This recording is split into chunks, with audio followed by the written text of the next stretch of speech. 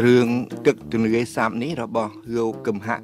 បានត្រូវចេញផ្សាយជាលើកដំបូងនៅឆ្នាំ1941គឺ8ឆ្នាំក្រោយបទកំណាព្យដល់បីមួយរបស់លោកដែលមានចំណងជើងថាសេកសោងបណ្ឌិត នៅ សម័យនោះដែលអ្នកនិពន្ធខ្មែរមួយចំនួន ដូចជាលោករឹមគិនលោកញុកថែមជាដើមនាំគ្នាងាករេបន្តិចចេញពីបញ្ហាកម្មផលនៃកធិពុទ្ធនិយមហើយនាំគ្នាផ្ដោតអារម្មណ៍ទៅលើបញ្ហាសង្គមខ្មែរជាពិសេសវិញ រឿងទឹកទន្លេសាបនេះដែលនិពន្ធតាមបែបរឿងលខោនក៏ជាបទនិពន្ធមួយដែលឆ្លុះបញ្ចាំងនៅទស្សនៈមួយថ្មីទៀតខុសពីរឿងនានា ដែលដកស្រង់ចេញពីបញ្ញាជាដកដែរឥទ្ធិពលនៃវប្បធម៌បារាំងបានផ្ដល់ទៅឲ្យអ្នកនិពន្ធខ្មែរនៅពេលនោះនៅការពិចារណាមួយបែបដែលមានលក្ខណៈប្រកបនិយមនិងវិទ្យាសាស្ត្រនិយមយ៉ាងច្រើនក្រៅដែរនៅក្នុងរឿងទឹកទន្លេសាបនេះ លោកកឹមហៈលើកឡើងអំពីរឿងកំសត់រវាងគូស្នេហ៍ពីររូបគឺនាងម៉ាឡានិងបរិះទីតលក្រម្នាក់ឈ្មោះហៃម៉ាសៃដែលបានត្រូវតាគំដែលត្រូវជាគ្រូសំណាក់ធររោគព្រឿងខ្មោចម្នាក់បំបែកចេញពីគ្នាសារជាថ្មីទៀតនៅពេលដែលអ្នកទាំងពីរហៀបតែនឹងជួបគ្នាវិញទៅហើយនោះរីឯផ្ទៃរឿងមានដូចតទៅនៅភូមិអង្គរស្រុកអង្គរមានបរិះម្នាក់ឈ្មោះចៅសីណានិងប្រពន្ធរបស់គាត់នាមបុផាផាន់ ប្តីប្រពន្ធនេះមានកូនស្រីពេញក្រមុំម្នាក់ឈ្មោះនាងម៉ៅអាមានបរិះពីររូបចូលដណ្ដឹងនាង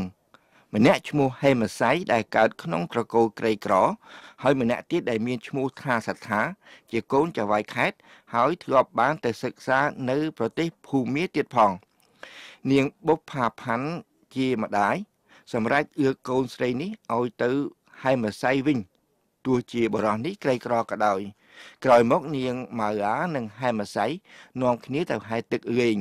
ជាភ័ព្វសំណាងមិនល្អហែមសៃក៏យងទឹក ហើយរសាត់ទៅទីឆ្ងាយបាត់ទៅហែមសៃបានត្រូវប្រពន្ធចោលឈ្មោះនាងមរិះជួយស្រង់ឲ្យរួចជីវិតប្តីនាងមរិះនេះរួចភឿននៅជ័យដែនបានប្រាក់ដល់សន្ធឹកសន្ធាប់ហើយដោយនាងមរិះស្រឡាញ់ហែមសៃពេកនាងក៏ប្រាប់កន្លែងកំណប់ដែលចោលជាប្តីបានទុកឲ្យនាង ថ្លែងពីនាងបុប្ផាផាន់ជាម្ដាយនាងម៉ៅអាវិញដោយគិតថាហើយម្សាយស្រាប់បាត់ទៅហើយក៏ទៅរកគ្រូសំណាក់ធម៌ម្នាក់ដើម្បីបញ្ជាក់ឲ្យបានអស់ចិត្តគ្រូសំណាក់ធម៌នោះដែលមានឈ្មោះថាតាគំក៏ប្រាប់នាងបុប្ផាផាន់ថាហៃម្សាយត្រូវក្រពើលាបបាត់ទៅហើយបន្ទាប់ពីយល់សពទៅឃើញដូច្នេះនាងបុប្ផាផាន់ក៏លើកកូនស្រីទៅឲ្យស្ថាវិញទៅ នាងម៉ាឡាប្រកែកតែជាការឥតប្រយោជន៍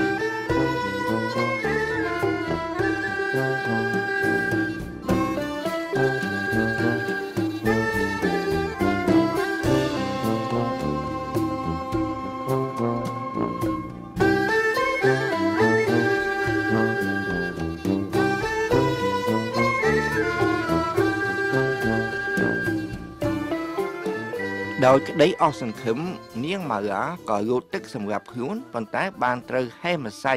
និងមរិះជួយសង្គ្រោះទាន់នាងមរិះប្រច័ននឹងនាងម៉ៅអាពេកក៏ដាក់ថ្នាំអំពើហេមសៃឲ្យស្លាប់ប៉ុន្តែដោយនាងម៉ៅអាបានឃើញទាន់ហេមសៃក៏រួចជីវិតហើយចាប់នាងមរិះចងរួចក៏យកទ្រព្យសម្បត្តិចោលរត់ទៅជាមួយនាងម៉ៅអាទៅរស់នៅដោយសុខសាន្តបាត់ទៅ រីឯតាគំវិញគាត់ក៏ត្រូវតុលាការកាត់ទោសតាគំមានអាយុ60ឆ្នាំទៅហើយប៉ុន្តែមានប្រពន្ធក្មេងជាហេតុជំរុញឲ្យគាត់ធ្វើអ្វីគ្រប់បែបយ៉ាងដើម្បីផ្គាប់ប្រពន្ធក្មេងរបស់គាត់ប៉ុន្តែនៅតែមិនគ្រប់គ្រាន់ទៀតព្រោះជីវិតមិនមែនត្រូវការត្រឹមតែលុយកាក់ប៉ុណ្ណោះទេ គឺត្រូវមានសហាយឬប្តីក្មេងផងទៀតរឿងនេះមានលក្ខណៈទំនងជាកំប្លែងបន្តិច ប៉ុន្តែពោពេញទៅដោយមេរៀនសំខាន់សំខាន់សម្រាប់ជីវិតអ្វីដែលគួរឲ្យកត់សម្គាល់នៅក្នុងរឿងនេះគឺផលវិបាកដែលបណ្ដាលមកពីការចេះដឹងគ្មានលក្ខណៈប្រកបនិយមយកកាវយកសពធ្វើជាមូលដ្ឋាននេះជាកំហុសមួយធំណាស់គឺការខ្វះការទទួលខុសត្រូវមួយបែប ដែលតែងតែនាំគេឯងទៅរកអន្តរាយមុននឹងអន្តរាយខ្លួនឯងតែម្ដង នៅក្នុងពេលជាមួយគ្នានេះអ្នកនិពន្ធចង់ប្រាប់ថាជីវិតប្រកបទៅដោយភាពមិនទៀងទាត់ យ៉ាងណាមិញចៅក៏មិនអាចរក្សាទ្រព្យសម្បត្តិរបស់ខ្លួនបានរហូតដែរហើយនេះមកពីគំនិតមិនល្អត្រឹមត្រូវតែម្ដង ពេលខ្លះបានរៀបសក្ការៈដោយកលល្បិចប៉ុន្តែពេលខ្លះក៏បាត់បង់ទ្រព្យទៅវិញដោយសារកលល្បិចដដែលនោះ